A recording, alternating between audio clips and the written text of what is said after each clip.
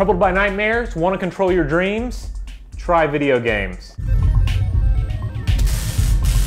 Dutch psychiatrist Frederik van Eeden identified eight different modes of dreaming, but the most exciting of these is lucid dreaming. During a lucid dream, the dreamer becomes aware that he or she is dreaming, and they take control over the dream world. So they can fly, they can grow to enormous size, they can just take full command of this world that they're immersed in. It's wonderful when it happens, but it's a difficult trick to learn, involving habitual dream recall exercises and reality testing. But according to a 2008 study from Jayne Gackenbach, we have another tool at our disposal, and that is video games. Because what what happens inside of a video game. You're taking control of a character, characters, or the world itself. And that world may be real or real-ish in its composition, or it may be completely fantasy-based. But bottom line, you're training your mind to recognize unreal environments and take control of them. As it turns out, lucid dreamers and gamers actually have a lot in common. Both groups demonstrate better spatial skills, both groups are less prone to motion sickness, and both groups can demonstrate high levels of concentration. Now, when it comes to fighting off nightmares, Gackenbach found that gamers